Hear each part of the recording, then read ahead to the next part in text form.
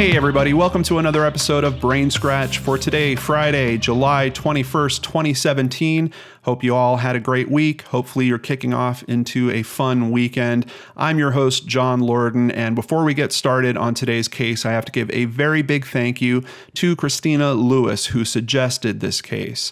Um, I have to say, looking into cases of unidentified bodies being found is extremely tough.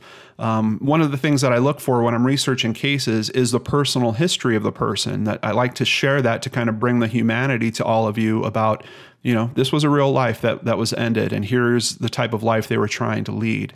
Unfortunately, we can't do that in these cases, and that's why generally I will shy away from them unless there is some pretty compelling information, um, like we had in terms of uh, the Tamam Shud case. Uh, we had the interesting Neil Dovestones case. So there's some theories around this case that I think are very much worth discussing. And of course, we're going to try to raise exposure to this case. There is contact information in the description box below if you think that you have some information that can help with this case. So, with all that being said, let's take a look at the case of the lady in the dunes. And here is where the mystery starts. This is a gravestone. We can see it is for unidentified female body found Race Point Dunes, July 26th, 1974. Yes, this is a mystery that has gone on for over four decades at this point. Uh, here, this is a computer composite sketch based off her skull of what she may have looked like. Now, with a case that has gone on this long, I can tell you there has been numerous composite sketches. If we jump over to the Doe Network here, um, you can see here is one that was recently put out by the National Center for Missing and Exploited Children. And of course, when you compare that to the recent computer sketch that I had pulled up, um, you see that it's it's pretty different. It's pretty different looking, guys. I'm really kind of struggling with the variance that I'm seeing in these sketches, but when you have artistic interpretation that is a part of these sketches, I think this is kind of bound to happen. Uh, some of these sketches look like she could have possibly been of another ethnicity. Um, there are some features from some of the sketches to other parts of the sketches where you can see kind of similar things happening. I don't know if when people are doing recreations, if potentially they're looking at all the previous sketches and trying to incorporate that information. But um, here, this is at least the best collection I've been able to find of all the sketches in one place, and that is at the Doe Network. So you might want to check that out. Uh, also on this sketch, you might notice on the left side, um, they have her face kind of cleared up, where on the right side, they have added freckles. Um, I believe they're assuming that she could have been freckled because she had auburn hair, kind of reddish hair, as it's depicted here as well. So let's learn a little bit about where she was discovered. Uh, Provincetown, Massachusetts. Provincetown is a New England town located at the extreme tip of Cape Cod in Massachusetts in the United States. A small coastal resort town with a year round population of just under 3,000. But get this Provincetown has a summer population of as high as 60,000 people. Apparently, this place just gets jammed around uh, tourism times. Uh, the town is known for its beaches, its harbor, artists, tourist industry, and its status as a vacation destination for the LGBTQ community. Um, so, when you have that many different people coming to this area, particularly to vacation, it's going to put some strain in terms of this investigation in two ways. First of all, identifying who she is she might not be a person that necessarily lived in this area. She might have been vacationing there. And then number two, the person that ultimately murdered her could also be a vacationer and not uh, live in this area full time as well. On November 9th of 1620, the pilgrims aboard the Mayflower sighted Cape Cod while en route to the colony of Virginia.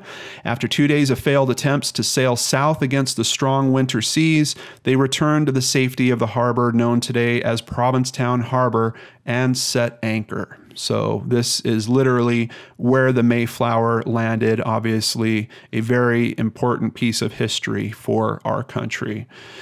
All right, so let's learn a little bit about the Lady of the Dunes, also from Wikipedia. And here we see the NCMEC um, composite, which I'm still kind of baffled at how different that is from the other digital image. But uh, Lady of the Dunes is the nickname for an unidentified woman discovered on July 26, 1974, in the Race Point Dunes, Provincetown, Barnstable County, Massachusetts.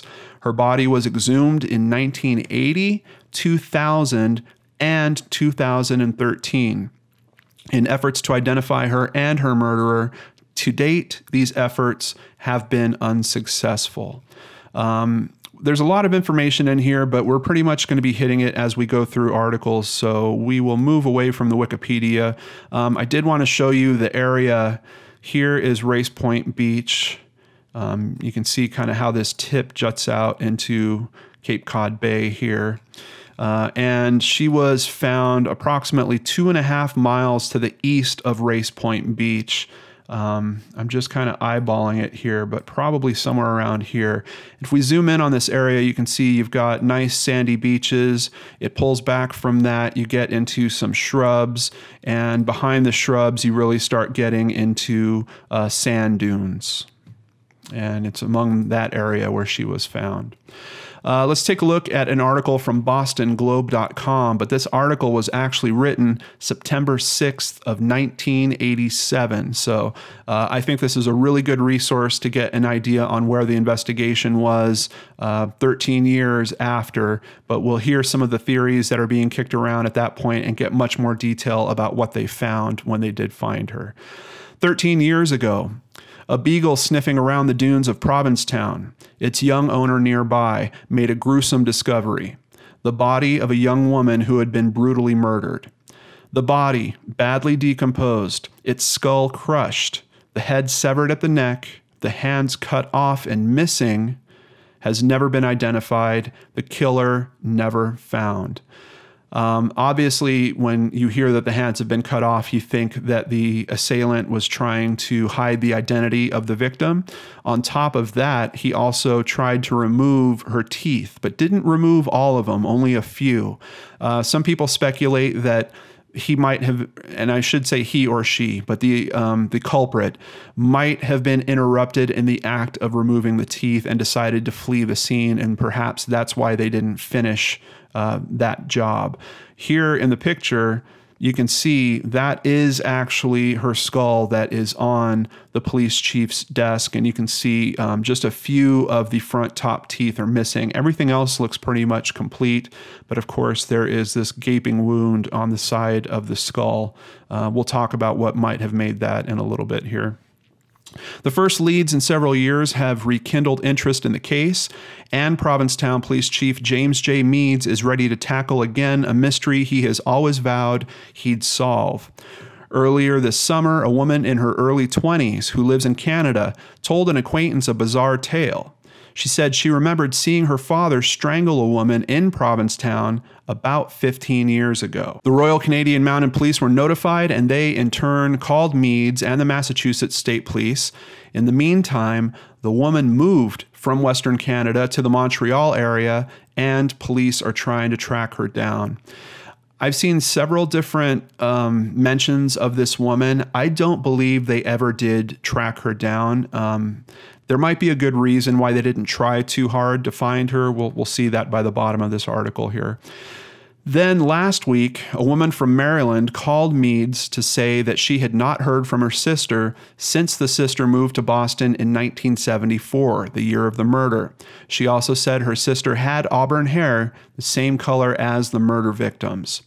Meads told her to get dental charts of the missing woman and send them to him.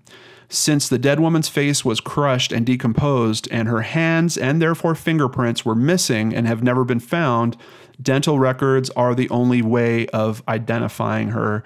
Now, keep in mind, this is an article written in 1987. Obviously, nowadays we would look to DNA to make an identification like that, and that is part of the reason why her body has been exhumed numerous times uh, at this point. As for the tale of the woman in Canada, Meads is skeptical. From what I've been told, she saw her father strangle somebody. If that's true, then it's not our victim because she wasn't strangled. Now, I've seen some conflicting information about this. I've seen some information suggesting that she might have also been strangled, but the cause of death was clearly the blow to her head, and that the blow to her head was caused by what appeared to be a military trench cutting tool. Uh, let's jump over to websleuths.com. I saw an interesting comment from Pollywog about this type of tool. Trenching shovels are common here. It's a foldable shovel, easy to carry. They sell them at Marine Specialties, our local Army Navy store. Lots of people have them for beach campfires because we're required to cover the fire pit before we leave. Um, I also remember when I was a kid, my family had one of these shovels as well for when we would go camping, the exact same purpose.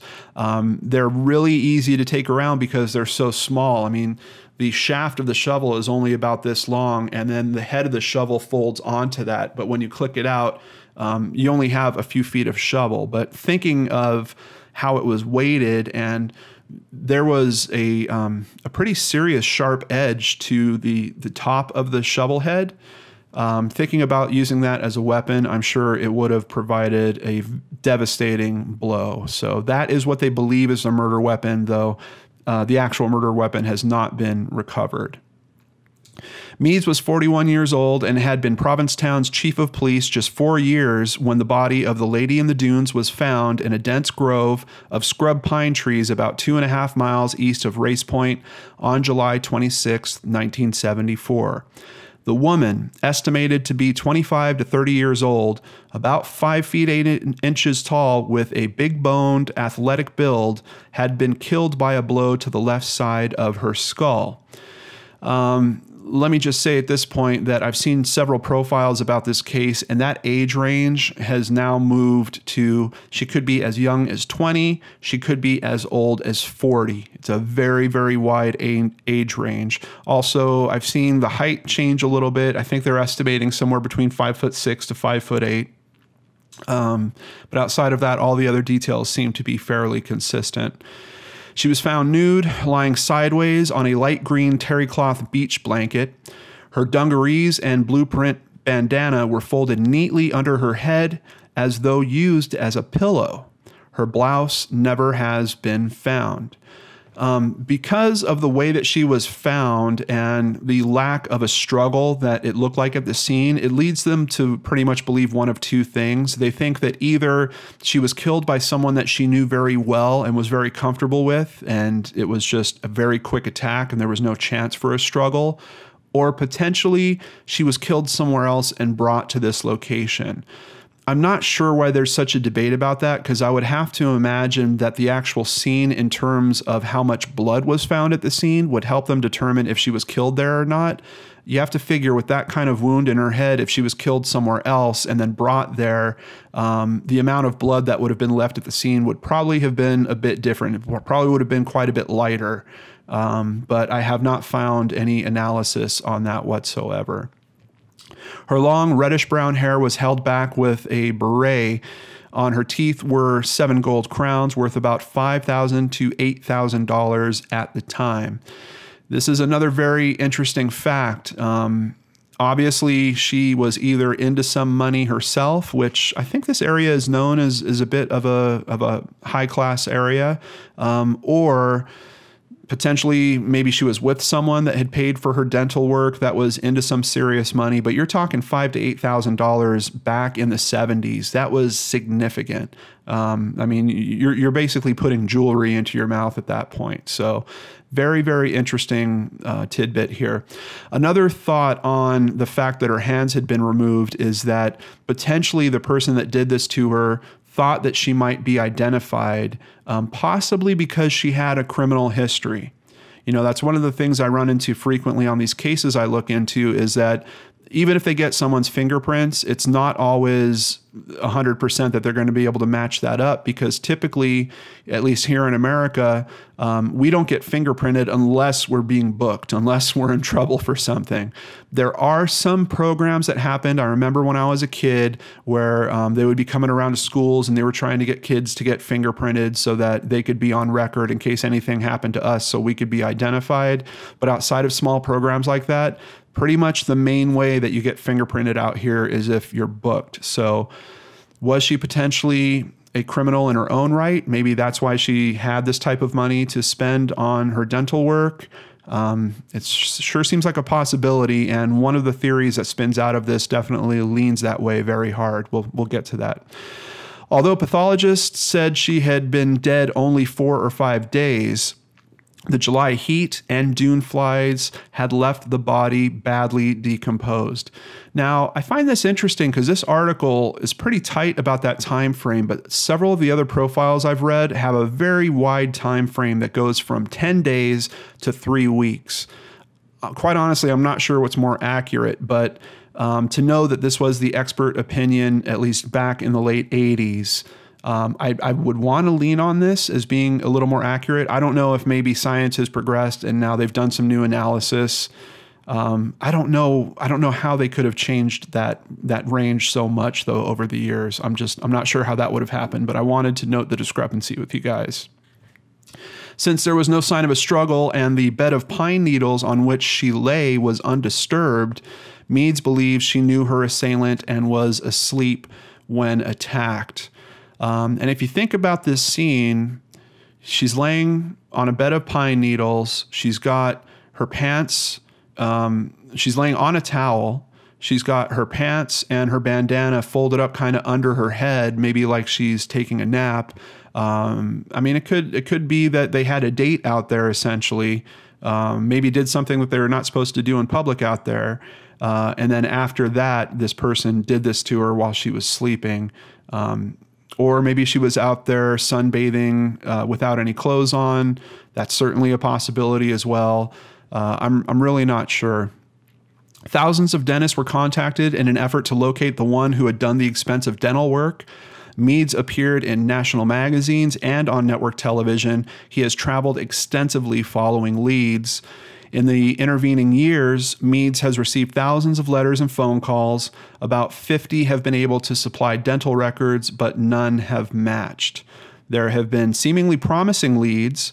There was the man in prison in Maine who kept drawing pictures of women without hands, the women at Provincetown campground who reported their friend missing, but she later turned up. With most murders, you try to figure out who the murderer was, he said quietly. I've spent years trying to figure out who the victim was. Meads had the body buried in St. Peter's Cemetery in Provincetown, and a stone there reads unidentified female. Schwartz said that for years, somebody placed a small vase containing flowers at the marker every July 26th. Oh, I don't know, guys. We're in another tough case here. Um, one of the theories that spun out was about this woman. Her name is Rory Kessinger or Kessinger. Um, she is a convicted felon, was actually in jail and escaped jail. For a while, they thought this might be her. As you can see, if you look at her facial structure and at least some of those composites, uh, she does appear that she could be a match. Um, but that's one of the reasons why they did one of the exhumations. They got uh, a strong DNA profile from her. They eventually tracked down, I believe it's Rory's mother, uh, and they confirmed that it actually was not her. Um, here's an article or a comment from crimewatchers.net that clears it up for us. Um, investigators also followed a lead involving Rory Gene Kesinger, who would have been 25 years old during the murder who had broken out of the town's jail in 1973. After the skull was reconstructed, authorities saw a resemblance between both Kesinger and the victim. This, this theory was later discarded as DNA from Kesinger's mother compared to that of Lady of the Dunes bone marrow did not match. So we've got a firm DNA does not match there. One of the theories that I think might be the most plausible has to do with this man. Uh, you might recognize him. There's been a few movies about him lately. His name is James Whitey Bulger. Uh, let's read this piece of an article from ranker.com. In addition to cutting off her hands, someone removed several of the woman's teeth, causing people to speculate the Lady of the Dunes may have been killed by James Whitey Bulger. He was a notorious mobster involved with an organized crime syndicate in nearby Boston at the time. Uh, Bulger and other members of the Winter Hill Gang reportedly removed their victims' teeth after killing them to make it more difficult for the authorities to identify them. He was also known to frequent a popular gay bar in Provincetown, in Provincetown called the Crown and Anchor, close to where the lady was found. Um, I also heard on a podcast, which I'll have in the description box below, um, that potentially the beach, the um, beach towel that she was laying on might be from the Crown and Anchor. I tried to dig into that for myself. I could find no information to corroborate that, but I just want to let you guys know uh, what I heard in terms of researching this. Uh, outside of Whitey Bulger, we also have another theory here. A suspected serial killer confessed to murdering her. So we actually have a confession. While behind bars for murdering two people, Hadden Clark told a cellmate he killed the woman known as the Lady of the Dunes. The convicted murderer, a paranoid schizophrenic, told his fellow inmate that his alternate personality, a woman named Kristen, killed the Lady of the Dunes in 1974. Clark, who authorities believe is a serial killer, was a suspect in several other murders. Uh, he also showed investigators where he allegedly buried some of his victims. However, Officials from Massachusetts searched the places in Cape Cod where Clark indicated he hid his victims' bodies, and they didn't find any evidence to support the killer's claims. While the authorities haven't ruled out Clark as the person responsible for murdering the Lady of the Dunes, the Provincetown police doubt he was involved in the unsolved killing. And you have a man that is struggling with a severe mental disorder here, being a paranoid schizophrenic. Um, very hard to know if this is a uh, reliable confession, but if he's proclaiming that he has information about where the bodies are and they go and they can't find the bodies, it gets very, very skeptical. One thing he did that is a little bit interesting is he drew two pictures. Apparently, one of the pictures was of a woman lying face down with her hands removed, and another of the pictures looked like a map, and apparently it, it pointed to the approximate area of where her body was actually located. So, there's kind of information on both sides of the fence here uh, in terms of his potential involvement there, but nothing very, very solid. And now we get to what is the most interesting of the theories. Uh, I don't know how strong it is, but let's take a look at it. Jaws, the film, just got even scarier with this spooky murder mystery connection. And here we see a screenshot from the film Jaws, a scene with a bunch of people and we see the composite from NCMEC, and we see a woman being highlighted in the composite. So, what do you guys think? Are you seeing a potential match there? Uh, she's also wearing a blue bandana. I can't tell if it has a print on it. Uh, the descriptions that I've read always seem to say that it was a printed bandana, so I'm thinking it's one of those bandanas that has the kind of traditional um, logo print printed logos on it. But uh, I'm not sure. She's wearing jeans and a blue bandana, so there's at least some of a match. Take one famously unsolved murder mystery, one of the greatest horror films in history, and one of the best horror writers of the current generation. And you mix them all together and you get this summer's most chilling fan theory. Joe Hill is actually the son of author Stephen King. Joe Hill is an author himself, and he had a bit of an experience when he decided to go to an anniversary screening of Jaws and see it on the big screen.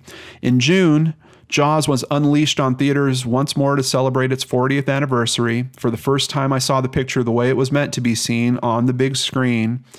Now, understand, I had only just finished reading The Skeleton Crew a few weeks before. The Lady of the Dunes is in many ways the centerpiece of that book. After finishing the book, I had spent a few minutes online acquainting myself with the latest details uh, and studying the recreation of the lady's, the lady's face. And now, suddenly, impossibly, there she was, life size and looking over her shoulder at me, there for a moment in a busy crowd scene, and then gone. Blue bandana, about 30, fit, 145 pounds. I don't believe those are Wrangler jeans, but a lady presumably owns more than one pair of jeans. Is the Lady of the Dunes in Jaws? Well, Uh, I don't know what you guys think. I think this is pretty thin. Uh, apparently, some scenes were shot in the Cape Cod area, and the timing of when those scenes were shot. Um, it could have been the same person, but keep in mind we're talking about an area that usually has only 3,000 people living there. And then during vacation time, it explodes to up to 60,000 people. Um, like I said, just based off those numbers alone, the likelihood that she actually lives in that area, just statistically, is very, very low. So, is this someone that would have really been available to be an extra um, on Jaws and then, you know, a number of months later wind up the victim of this crime? I think it's a bit of a potential possibility, but keep in mind he's doing a comparison to a composite that if you look at all the composites, they vary from each other pretty significantly. So in essence, he's found a woman in a film that looks like a picture that was drawn by someone that is a recreation of what they thought a person looked like based off their skull only. It is a very loose connection I don't know if there's a whole lot to it. Um, in a podcast I listened to, he made a good point that, hey, you know, even if there is nothing to it, at least it raised exposure to the case. I certainly think there's something to that. And I have to say, uh, before this, I had no idea who Joe Hill was. I didn't even know that Stephen King had a son that was uh, also an author, particularly of horror fantasy.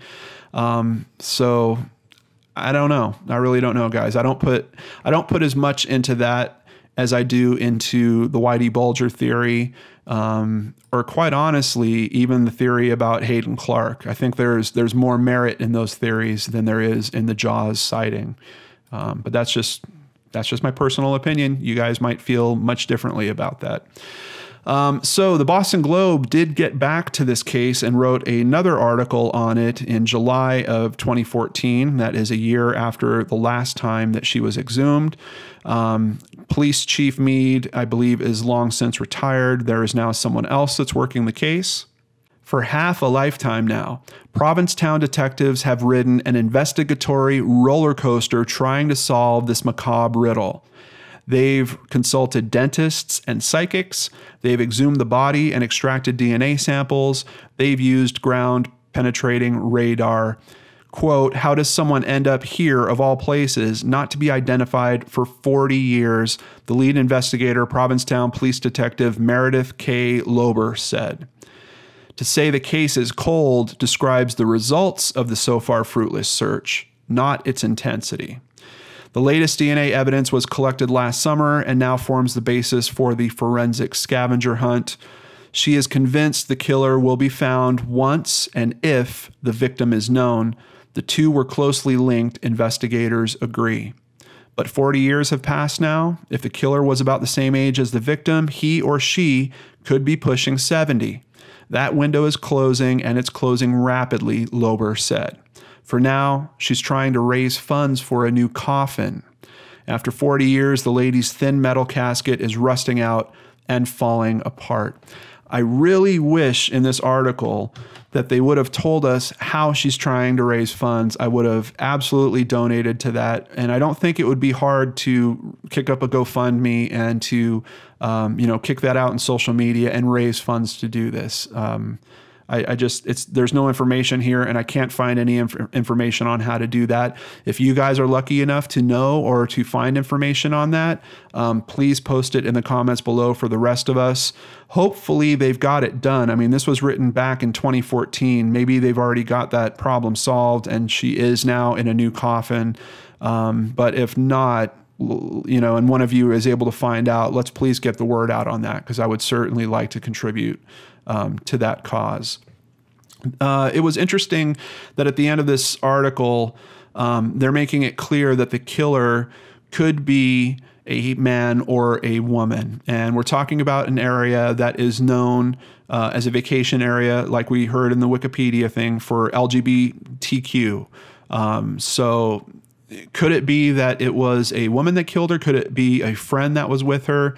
There's one detail I haven't told you guys about yet it seems like her body was sexually assaulted after she had been killed, and it seems like it happened with an object made out of wood.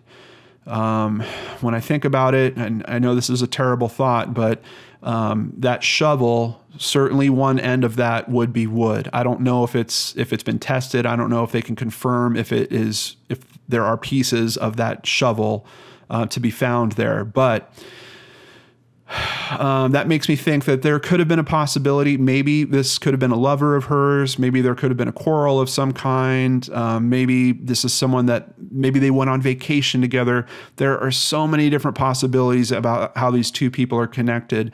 But ultimately, we're really not going to get anywhere unless we're able to identify this person. So, what I want to put out there is I want people maybe that are aware of this case, or um, maybe if you were in the area back at that time, um, maybe just put your brain on it. Just give it a little bit of thought and try to recall if there was anything strange where you knew of a group of two people and only one of them came back um, you know, maybe they said it was a girlfriend of mine and ah, we broke up and I'm just not going to see her again. There's some little missing piece out there that the authorities need to put this thing together, and it could be as simple as that. So if you were in the area, um, even out of the area, if you knew people that were traveling to the area specifically to vacation, just put a little thought into that.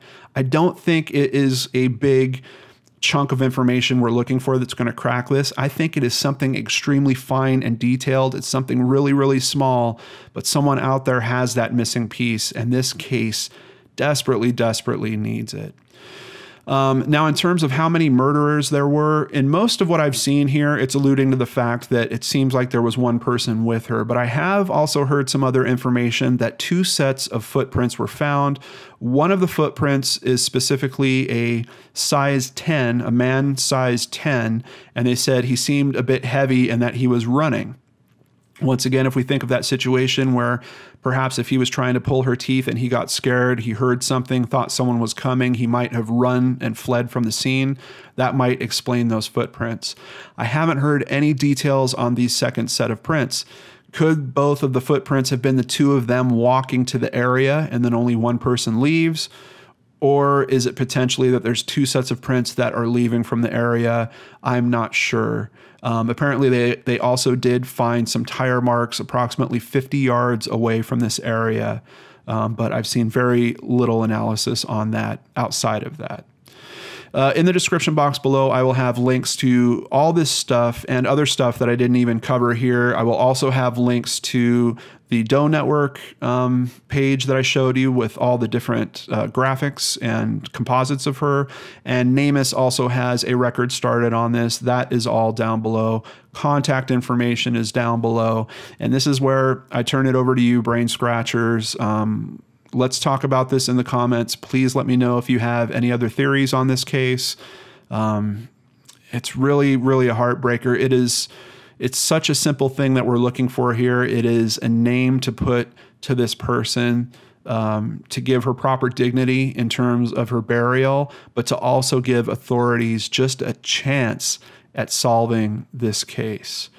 And do they already potentially have the person in jail? Uh, if Whitey Bulger is indeed the person, um, there's a chance of that. I did hear that his lawyer was questioned specifically about this case, and they have declined to comment it to comment on it at all. So I'll just leave that with you guys. But thank you so much for joining me on today's Brain Scratch. I appreciate each and every one of you that watches out there. I hope you have a wonderful Friday and enjoy your weekend. I'll see you here on Monday on the LordanARTS channel.